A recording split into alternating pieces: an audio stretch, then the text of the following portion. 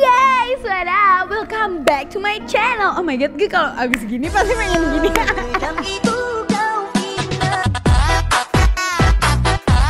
dan hari ini, as always, kalau backgroundnya udah hitam-hitam dan gue juga pakai baju hitam, kita akan melakukan Amel review.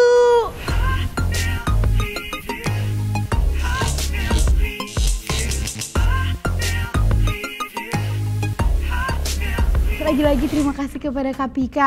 Suaranya oke okay banget ya guys. Anyway, lagi-lagi hari ini gue akan mereview sebuah barang. Kalau Amel review terakhir kemarin kita beberapa barang Kali ini satu aja. Hari ini kita akan mereview sebuah tas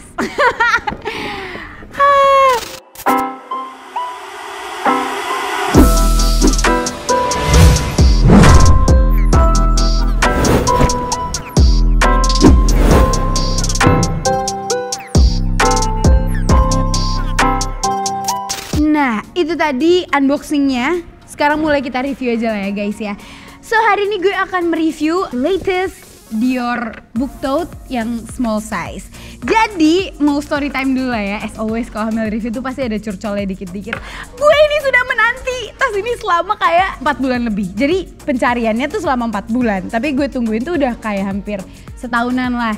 Jadi pada tahun 2018 kreatif director dari Christian Dior uh, Maria Grazia Ciuri itu keren banget dia satu-satunya female artist director. Keren banget kan? Dia uh, ngeluarin beberapa koleksi baru dari Dior. Yang pertama ada saddleback, salah satunya ada ini Dior book tote. Tapi size-nya gede banget tuh. Yang kalau gue pakai segede gini bu. Gede banget tuh kan. Kayak mau bawa pindahan rumah gitu. Jadi gue uh, itu tahun 2018 terus gue mikir kayak aduh nih orang bakal ngeluarin gak sih ukuran kecil? Ya udah itu akhir 2018 tiba-tiba tahun baru Happy New Year 2019 bulan Februari dia ngeluarin di runway-nya gue lihat ada ukuran yang small. Ada juga yang lebih kecil lagi segini mini. Terus gue kayak oh my god gue harus I gotta find that one. Terus um, itu sekitar bulan April dia udah mulai stok-stok di beberapa store.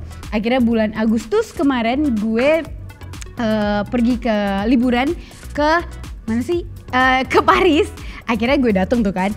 Assalamualaikum mbak, Waalaikumsalam gitu kan, pakai aksen-aksen orang Paris lah gitu. Uh, terus gue bilang, agar uh, gue butuh, eh gue mau nyari Dior book tote yang small size. Terus dia bilang oke okay, we only have this size uh, left. Nah gitu. Kayak pakai ada eh uh, uh, gitu kan. Yang gue temuin bukan yang klasik atau yang warna normal tapi gue temuin adalah ini. Yang mana menurut gue bagus sih seasonal dan itu emang menunjukkan bahwa kayak uh Paris banget gitu. Tapi lagi-lagi gue ini orang Indonesia guys. I don't need Paris France Prancis maksud gue.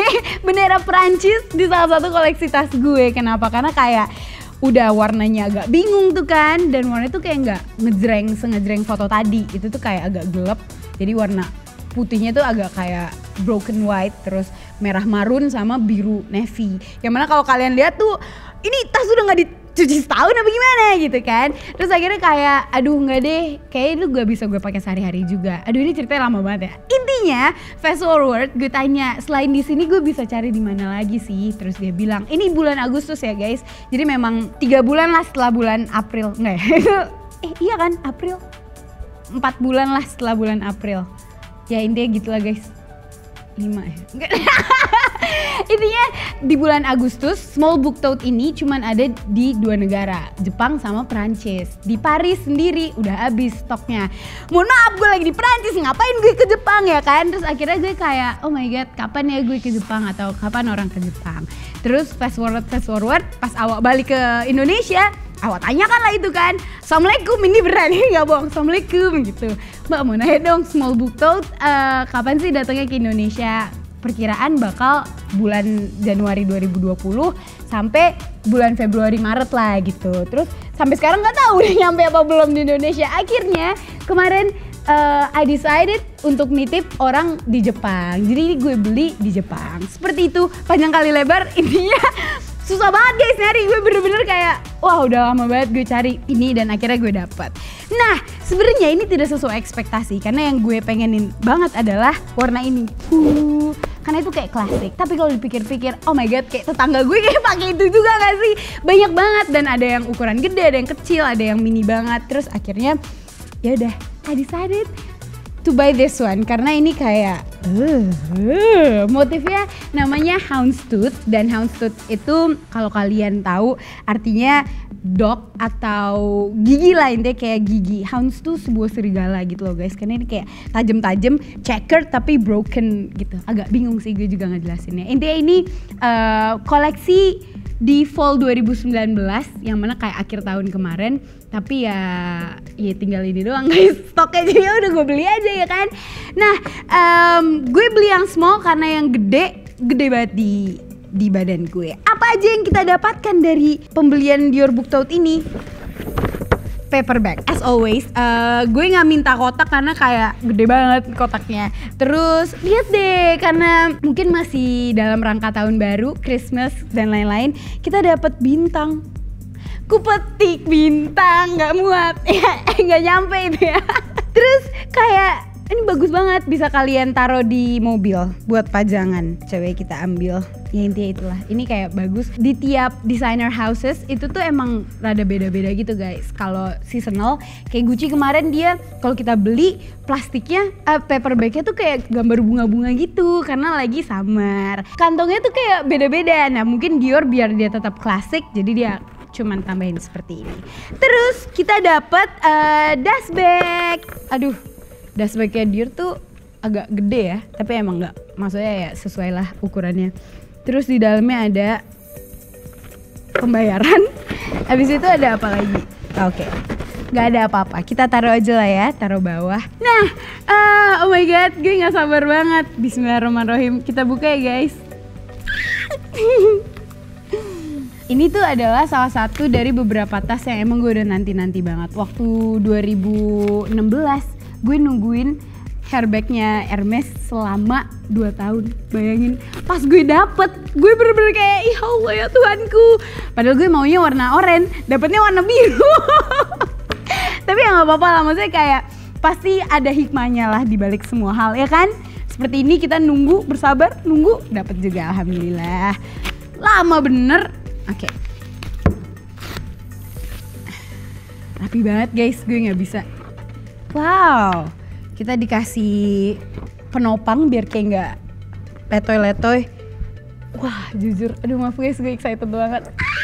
Nah, jadi um, dari websitenya yang gue baca, Maria Grazia Ciuri itu uh, bikin koleksi Dior Book Tote ini salah satu dari apa ya, pokoknya kayak Dior Know It All apa ya? Intinya kayak koleksi yang bisa digunain kapan aja gitu.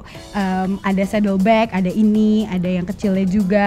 Dan ini tuh emang uh, tas buat sehari-hari. Kenapa? Karena kayak uh dia nggak ada kompartemen apa pun. Jadi kalian bisa masukin laptop bisa masukin dompet bisa masukin power bank masukin bahkan ada orang yang masukin doginya atau kucingnya ke dalam sini. Terus kayak bawa doginya palanya di sini terus kayak hmm, I need Starbucks coffee gitu-gitu loh. Ya biasalah basic American girls. Um, kita dapat oke okay, tebel amat. Apa nih? Ini kartu kartu garansi. Gak garansi sih ini kayak authentic. Ada buku panduannya guys. Ya udahlah intinya seperti itu. Udah kita cuma dapat segitu doang. Uh, gue akan menjelaskan itu terbuat dari kanvas. Dan di beberapa tempat di Paris di Jepang di London sekarang udah masuk di London. Uh, kemarin Kak Iki temennya ada yang kerja juga di Dior London terus katanya ini udah masuk. Jadi buat kalian yang pengen beli mungkin kalian nggak tinggal di Indonesia bisa cari di mana-mana sih seharusnya sekarang karena kan udah lumayan lama. Nah di situ tuh guys bisa di custom. Belakangnya bisa ditulis kayak nama kalian Amel. Atau kayak kalian pengen hadiahin temen kalian kayak namanya jadi Shopee gitu kan. Kemarin pas gue di Paris gue tanya kurang lebih tuh sejutaan apa ya? Sejutaan tuh untuk nge-custom 6 letter. Jadi misalnya Amel Ca gitu. Cantik maksudnya bukan Charla guys atau kayak Amalia N A.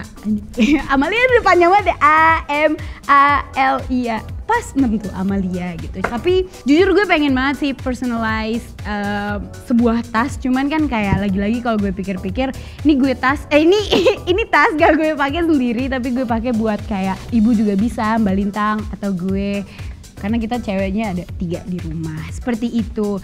Ini uh, bisa gue pakai buat kuliah bisa atau gue pakai jalan. Karena pas summer kemarin ini salah satu tas favorit di tahun 2018-2019 karena yang gedenya tuh kalian bisa pakai buat ke pantai. Jadi kayak ditaro topi ditaro alat mandi segala macem gitu. Mohon maaf pakai ginian ke pantai. Gue sih nangis ya mau gue agak agak bersedih gitu. Tapi ya nggak apa-apa. Mungkin ada beberapa orang yang kayak kalau kita lihat dari kualitinya I'm sorry if I'm biased, tapi ya gue suka banget guys. Ini udah kayak gue tunggu-tunggu selamanya. Lumayan tebel, ya kanvasnya tebel. Dari harga, untuk harga yang kita bayarkan, menurut gue ya lumayan gak terlalu worth it ya. Karena ya udah kalian cuma dapat sebuah tas kanvas loh bukan kulit. Gak ada kompartemennya apa-apa. Cuman lagi-lagi dia menjual nama menjual desain sama tas kayak gini tuh jadi lumayan ikonik lah. Kalau kalian lihat kalau bukan Christian Dior ya berarti emang based on Christian Dior. Terakhir ya guys. Fun fact yang paling baru gue tahu adalah Calvin Klein. Calvin Klein ngikutin the classic motif dari Dior untuk di tote bagnya mereka. Ini fotonya sumbernya dari diet Prada. Oke, okay, mau lihat nggak kalau gue pakai gimana kayak? Oke, okay, sekarang gue akan cobain dulu di sana. Bye.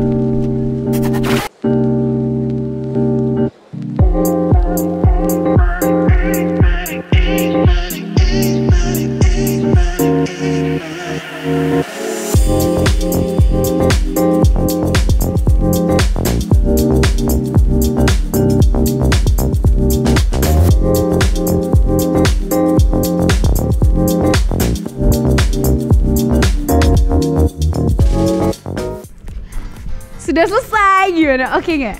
Itu gue seneng banget karena ya udah kayak I get another bag um, yang bisa gue pakai sehari-hari ya udah banyak aja gitu. Dan ada beberapa orang juga yang bisa uh, dimasukin. Kalau tante Syahrini tuh tiap tasnya ya karena tas dia Hermes semua ya guys. Jadi dia punya bag organizer segini doang isinya semua hal. Jadi tiap dia ganti tas tinggal dipindah-pindahin aja. Gue pengen kayak gitu tapi tas gue nggak semua segede ini jadi kayak ya udahlah. Lihat aja nanti. Dan uh, untuk harga sendiri Dior Book Tote yang small harganya segini. Itu dalam USD atau itu dalam euro atau itu dalam Japan Yen. Nah, uh, untuk yang gede sendiri harganya sedikit lebih mahal, kurang lebih kayak 5 jutaan lebih mahal. Sama yang kecilnya kayak ya pasti harusnya lebih murah gitu. I prefer this one karena ini kayak pas banget di tubuh saya yang pendek tapi gempal dan gembul. ya adalah. Ini seperti itu. Uh, I guess that's all guys. Amal review hari ini semoga bermanfaat juga. Uh, ada beberapa info tadi gue kasih tahu ke kalian semoga kalian suka maaf banget guys kalau kalian gak suka ya nggak usah hate comment juga lah di bawah gitu kan salah apa sih gue guys intinya kalau kalian suka gue mereview hal, seperti ini leave a like kalau gak suka juga leave like guys pahala ya kan? Ya udah. I'll see you guys in another video. Bye bye assalamualaikum. Don't forget to like comment and subscribe